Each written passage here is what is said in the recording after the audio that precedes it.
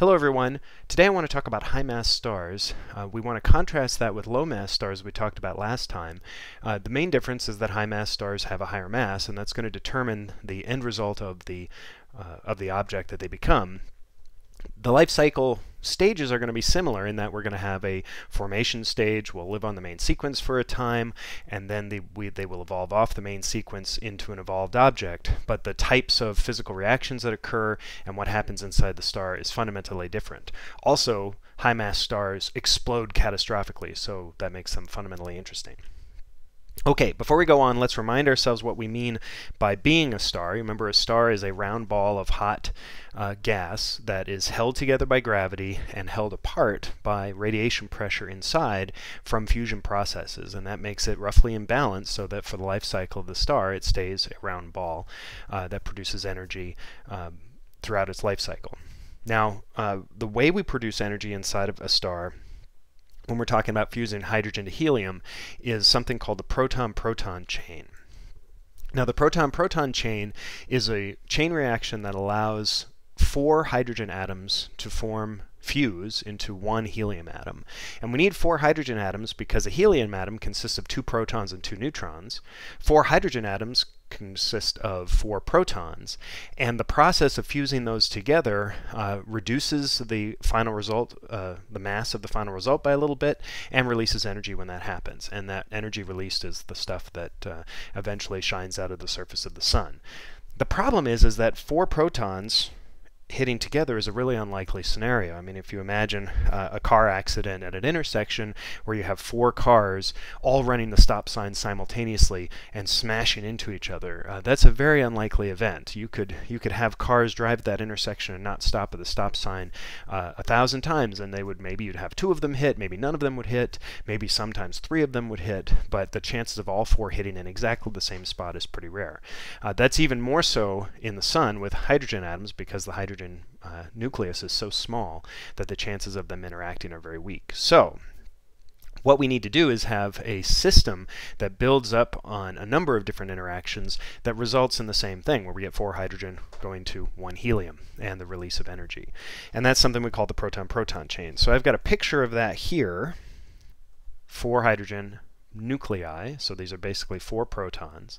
And the chances of any two of those nuclei hitting is pretty good because the density at the center of the star is so high. So we get two of them hit and they form what's called a deuteron and this is a, a hydrogen atom. It's a hydrogen atom because it only has one proton but it also has one of the protons from the collision has turned into a neutron and that gives it a more mass than a typical hydrogen atom so we call it a deuteron and it's a, it's a hydrogen atom with a proton and a neutron. And the same thing happens to this one and this one and this one so we wind up with two of these deuterons. Those chances of those deuterons hitting another proton are pretty good. So here's an interaction with another proton. Those things hit. When they hit, they produce energy in the form of gamma rays and form what's known as a helium-3 nucleus. Now helium-3 is helium because it has two protons, but it also only has one neutron, so it's a helium atom with only three subatomic particles inside of the atom. That happens again over here, producing more energy and another helium-3, and then we wind up with eventually the heliums hit and collide, produce uh, uh, an interaction which results in two protons flying off to be part of other reactions later, and a helium-4 nucleus, stable helium-4 nucleus at the end.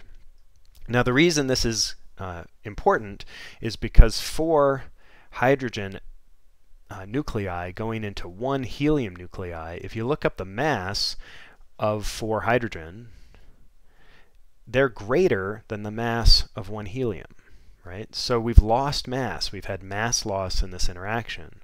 And because we know that mass and energy can be related with Einstein's E equals mc squared, any mass loss is the same as energy loss, or in this case, energy produced from the reaction that goes flying off through the star into space, eventually to intersect our planet, where we can do photosynthesis and build solar panels and produce energy. So that's the proton-proton chain, and that's how typical stars, mainly low-mass stars or early type stars that only have hydrogen and helium work. Now, in high mass stars, however, especially high mass stars that are enriched in things like carbon, nitrogen, and oxygen, there's a more efficient way to produce this energy. The result is the same. You wind up taking four protons and turning them into one helium. But because you've got uh, higher pressures and temperatures inside, there's a more efficient reaction. And that reaction is called the CNO cycle. And the CNO cycle uh, is simply a, a, a catalyst cycle that, again, takes four protons, turns them into one helium atom, but it uses carbon, nitrogen, and oxygen as a, as a catalyst of the reaction. So if we look at this, step one is we have a hydrogen atom comes in and hits one of the carbon atoms in the core. Now, if there are no carbon atoms in the core, this cycle is not going to work. You have to go back to proton-proton. But in the carbon uh, CNO cycle, if carbon is present, this is a more efficient reaction. So when this happens, a helium a hydrogen nucleus will hit a carbon nucleus and it will release energy in the form of radiation it will result in a nitrogen nucleus. Now, that's because we've taken that proton and put it in carbon, and if you have an extra proton on carbon, that's what we call nitrogen. Uh, that uh, decays by a process of atomic decay that turns back into a carbon-13 and releases uh, a positron and a neutrino, right? So these are other little subatomic particles that go flying off into space. Um, that carbon-13 hits a another proton, which turns into a stable nitrogen-14, releasing energy. That stable nitrogen-14 interacts with another proton, releasing energy and turning into an unstable oxygen atom, oxygen-15. That oxygen-15 uh, decays, emitting positrons and neutrinos, interacting uh, to become a uh, nitrogen-15, which interacts with a hydrogen atom, and that releases back to a carbon atom and one helium atom. Okay, so the total reaction, if I look at the whole thing, is four protons, one, two, three, four, big messy complex reaction involving CNO, one helium atom. So the result is the same. Now you might ask yourself, how do we know which process is going on? We can't go into the center of the star and see what's going on there, so how do we know which process is going on? And the key is the release of these subatomic particles, right? These proton, these positrons and neutrinos, in particular neutrinos. If I go back to our uh, previous cycle, with the proton-proton cycle, we can look and see how many, uh, what, how many and how often neutrinos are released. So we got uh, a uh, release of a positron here, that's one, and we have a new neutrino here, one, positron here, one, neutrino here, one, and they have a particular energy spectrum. Okay. Now if I go back to our our other interaction, we have again two areas where we release positrons and neutrinos. We've got here and here, and we have here and here, but because of the process that's going on here, they're going to have a different energy spectrum. They'll have different energies uh, because of the different reactions going on. And so by looking at the energies of the, of the neutrinos in particular that come out of the sun, we can determine which processes are occurring. Now, of course, these were determined theoretically first. We predicted that they would be in there, and then we went off and, and observed these things happening. So again, the, the end result is the same. Hydrogen fusing into helium. Four star on the main sequence. That's what we call the main sequence. Stars on the main sequence fuse hydrogen into helium. But once that hydrogen and helium is, or that hydrogen is exhausted, right? We have uh, we have to uh, uh, have the star begin to collapse because we no longer have enough energy being produced in the core to hold it up against its own gravity. The star is going to collapse, and that's going to result in a chain reaction of other elements fusing into higher elements. Okay, so we start with hydrogen core fusion. That's main sequence, as we call main sequence. Uh, once the hydrogen is gone from the core, the core collapses. Remember, at the same time, the outer atmosphere pushes out because it's getting further from this core, so the gravity is less for this outer shell. It moves out. Uh, the star becomes what we call a supergiant, and we have helium now burning in the core, but because the core is now smaller, more hydrogen has moved closer in where the pressure and temperature are higher, so that uh, we can get this hydrogen shell burning. And this is exactly what we saw uh, from the low mass stars right? Low mass stars would get this uh, end of hi hydrogen core fusion, and they would have hydrogen shell burning and helium core fusion, okay?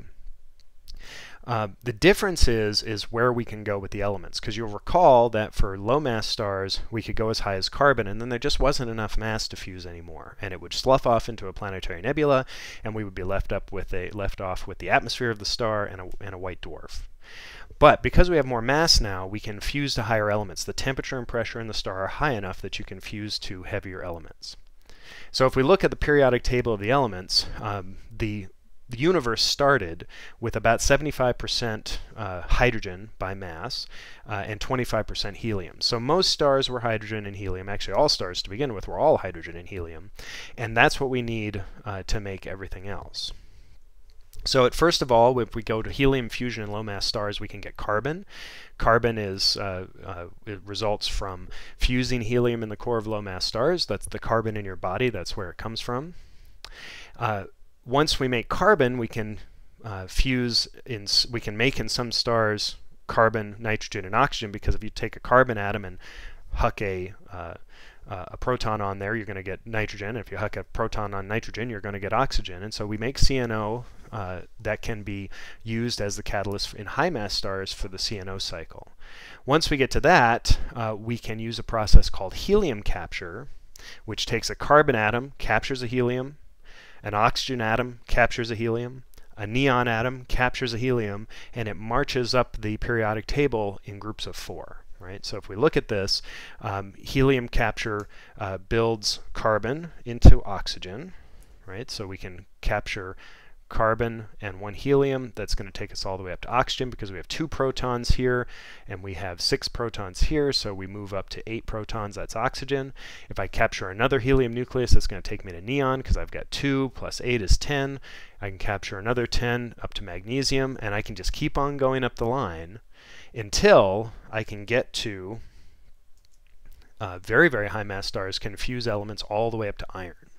Now how far we march up this periodic table of the element depends on the mass of the star because you can see that um, you know if I if I have enough mass to increase the pressure and temperature I can keep doing this process. I can go from 12 to 14, 14 to 16, 16 to 20, all the way up to 26, which is iron. Now, why does it stop at iron? It stops at iron because iron is the atom where it now takes more energy to fuse them together than you get out. Every other fusion process we just talked about is something called exothermic, which means that the, uh, the amount of energy you get out of the reaction is greater than the amount of energy you put in. So it's a net production of energy. When we get to iron, that's no longer the case. You put energy in to fuse it and, and, you, and it releases less energy than you put in. That's called an endothermic reaction. So what's interesting though from a stellar perspective is not only does this make everything up to iron, but it also creates this sort of onion skin uh, model of, of the star because the core is going to be fusing the heaviest element that's currently being fused. The little shell on the outside will do the next heaviest. The little shell on the outside of that will do the next heaviest all the way out until you get to uh, hydrogen shell burning and then non-hydrogen shell burning uh, or hydrogen inert gas on the outside. Uh, eventually this will go to where you have an inert iron core, but you still have this shell burning. So this is going to cause a number of pulsations in the star. It's going to cause uh, uh, different elements to fuse at different times, and we get this sort of onion layer model where eventually the core inside is inert. Right? But once the core goes inert, these shells start to burn up and burn up and burn up, and eventually that amount of energy is going to go down until you don't have enough energy to hold up the star any longer. Um, now, we talked about iron as being the, uh, the, the kind of place where this occurs, where this uh, fusion reaction gives over to a fission reaction, or exothermic gives off uh, to fission reactions. Uh, if I look at this diagram here, this is just looking at the mass per nuclear particle, right? So in the case of hydrogen, it's one hydrogen atom divided by the mass of the hydrogen atom, so that's pretty high. As I go to higher numbers of atomic masses, I have to put more particles in there to keep the atom stable, so this goes down, right? So the mass per particle, uh, the mass per nuclear particle goes down until I get to the point where I have iron right here, and then it starts to go up again. So in this case, fission releases energy. That's when we go from a higher atomic number to a lower atomic number. Here, fusion releases energy, where you go from a lower atomic number to a higher atomic number. And where that bottoms out is iron. So this is the place where no more fusion. No fusion for you right here. because you wouldn't get any energy out if you did it. Okay. Um, now, if you look at how we, we talked about how we get these helium capture atoms, um, that uh, if that process is occurring, what we should see is that the abundances of atoms that are multiples of four, uh, or at least, sorry, if you're, if, sorry, if you're a, the abundances of atoms that have, uh, that lie on this helium capture cycle, where you're adding two protons and two neutrons each time you capture uh, a helium nucleus, we should see increased abundances of those elements if that's what's occurring. So, for example, uh, we have helium, that's helium capture because it's by itself. The next one up would be carbon. Capture a helium and you get oxygen. Capture a helium and you get neon. Capture a helium, you get magnesium. Capture a helium, you get silicon. Capture a uh, helium, you get sulfur, argon, calcium, Oh, what's this guy right here? Well, they're still slightly abundant up to iron, right? So again, we do see that there's a kind of distribution where we get more of these higher abundances of even numbers of protons. Okay, and that's even true, even though this even number is lower than this one, it's higher than the odd numbers around it. Okay, so that's the uh, that's the formation process of the of the elements that are going on inside the stars. This gets us all the way up to iron. The problem is is that there's a lot of stuff in the universe that's heavier than iron. So the question is where does it come from? And the answer is it comes from the catastrophic explosion that is a supernova explosion from a high mass star. That's the picture you're seeing right here. This is a supernova explosion. We'll come back and see this a little bit later. But this is where the rest of the elements in the universe are formed. Got a little simulation here for you to kind of show uh, this model we've been talking about to see what happens. So let's start with, uh, again, this is like what we saw for our sun-like sun star, but we're going to look at this from space. Uh, this is a picture of what this star looks like, and this is telling you what's going on inside of the high-mass star. So let's go ahead and run this. You see that as we start to run out of hydrogen in the core uh, and helium in the core, the star expands into the red giant a little bit. We now have a carbon uh, a carbon core. Uh, now it's going to have oxygen as we uh, fuse from carbon into oxygen. Then we're going to get uh, red giant phase is going to pulsate a little bit as we run out of that oxygen. We're going to start to fuse uh, neon, right? And then we're going to have magnesium, and we're going to have silicon, and it's going to keep on doing that all the way up to iron. And you get this sort of onion shell model. So now we've got our inert iron core and all of these shells. Now this puts the star in a very unstable condition because every single time you run out of one of these new fuels, things start to go a little bit wonky. So if you uh, watch to see what happens here, we have now a core which is no longer producing energy and a bunch of shells that are producing a little bit of energy. So what's going to happen when I run this is that eventually gravity is going to take over and it's going to beat out all of the radiation that's coming from that and that's going to result in a collapse. And there we have a supernova. Now, you might ask yourself, how does something collapsing result in an explosion? Well, if you think about it, if I have one half of a giant star 8 solar mass star and one half of an 8 solar mass star over here and they're falling towards each other towards an inert iron core. Eventually they're going to hit and bounce off each other causing a giant explosion and a black hole or a neutron star left over. Okay so let's uh, you know look at uh, what can form when these things happen. Um, we talked a little bit about degeneracy pressure with supernova. That just meant that you packed everything so tightly together that it couldn't get any smaller, right? And that was the pressure from that uh, from that tight packing of the atoms is what caused the star to keep up. But if you have more and more mass, even that can't hold the core uh, back from further collapse, right? So what happens is that the electrons combine with protons to form what's called a neutron. And a neutron, if you do that for the entire mass of the star, becomes a neutron star. And that's uh, the, that means that you basically have a stellar mass of material that has the density of an atomic nucleus. Now again, degeneracy pressure takes over at this point because if you don't have enough mass to compress the neutrons anymore, they have enough uh, enough degeneracy pressure just from the tight packing of the neutrons to hold themselves together. Um, all of the stuff that blows apart when this happens, all the way up uh, to uh, uranium, which is the last naturally occurring element on our periodic table of the elements, is formed during this giant explosion. And that includes uh, all the gold in the universe, right? So if you have a happen to have a gold ring, pull this thing out, this gold ring, this is from a supernova explosion. So you have a little bit of a supernova explosion on your finger if you happen to be married or have a ring. Um, if you happen to use nuclear power, that all comes from a supernova explosion. So every time I look at uh, you know a piece of gold jewelry or something, I think, hey, cool, a little fossilized uh, stellar explosion. Okay, so the other cool thing about these things is they're incredibly bright and incredibly visible. So the, uh, the a particular supernova explosion can outshine the entire galaxy, and uh, the the Crab Nebula, which is this is a picture of the Crab Nebula right here, uh, exploded in 1054 AD, and it was written down by Chinese astronomers, and they identified where it is in the sky. So we went back and found this with modern telescopes, and because we know that they observed it here in 1054 AD, and we observed it out here you know, in 2013 or 2014. And if we know the velocity of the gas, which we can measure spectroscopically, you can figure out the extent of this thing uh, just by how long it's taken to grow uh, into its size. So it's a neat thing that we can go out and sort of see these explosions because this explosion is still ongoing. It's been, you know, what, uh, almost a thousand years, and it's still this explosion that's shooting out into space. And we can see that happen in real time. Uh, just to show you, uh, the closest supernova in the last four centuries was 1987A, which uh, is uh, shown right here. You can see that this was in the small, the it was a large Magellanic Cloud, and you can see the uh, supernova here is outshining this whole this whole grouping of, of stars.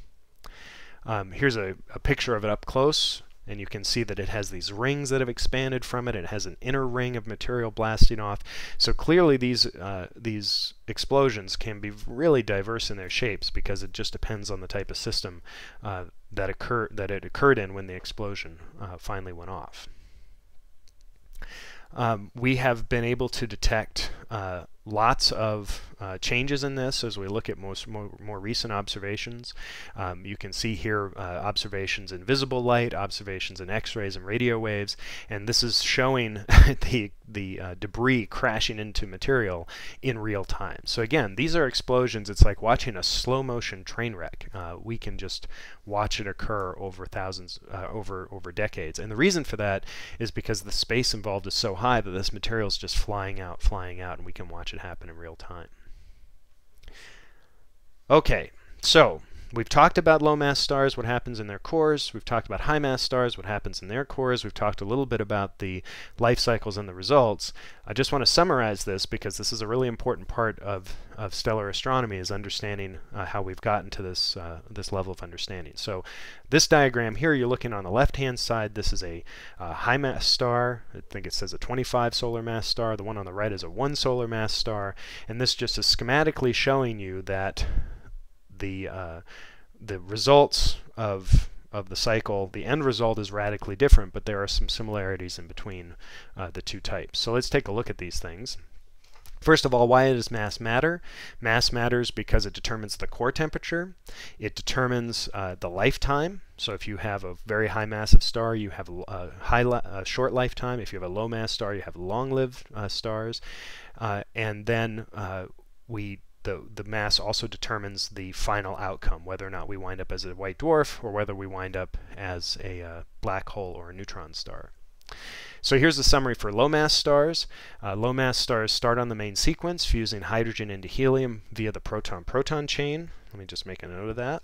So this is the, the PP chain. We don't have enough high temperature areas to use the CNO cycle.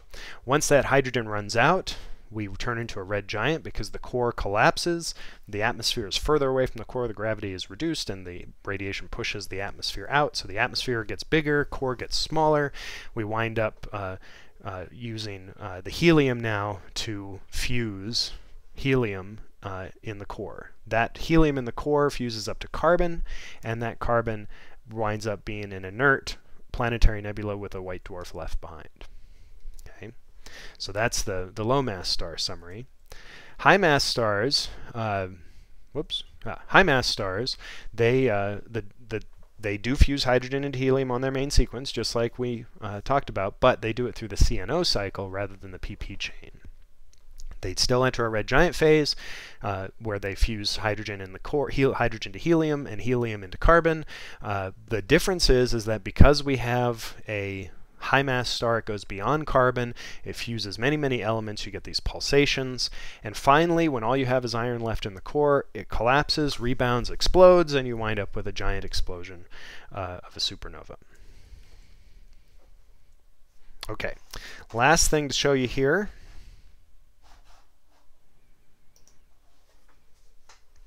And just as a reminder, the reasons for these life stages, the core shrinks and heats until it's uh, hot enough for more fusion. Uh, the nuclei with larger charge require higher temperatures, so that's why you have to have the higher mass stars in order to get uh, to fuse to heavier elements. Uh, the core thermostat is broken when the core is not hot enough for fusion. So anytime you wind up with an inert material in the core, the star is going to shrink the core is going to shrink until it heats up that temperature to, to kickstart the fusion again, if at all possible. And fusion can't happen if degeneracy pressure keeps the core from shrinking. So that means if we get to a white dwarf or we get to a neutron star, uh, the pressure from the compactness of those objects can't uh, help you. And so they, or, or I should, the pressure from the compactness of those objects hurts you and it makes it so that you can't uh, compress anymore to increase the temperature and that's when you wind up with your final object.